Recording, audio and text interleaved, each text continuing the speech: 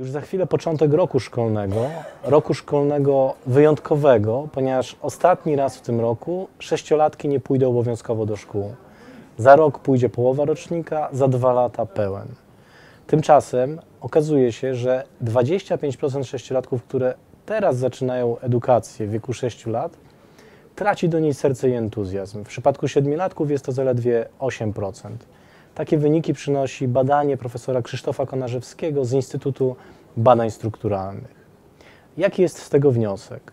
Rząd, zamiast przekonywać nas, że wszystko jest świetnie do przyjęcia sześciolatków do szkół przygotowane, powinien bardzo poważnie pochylić się nad tym, jaka jest rzeczywistość.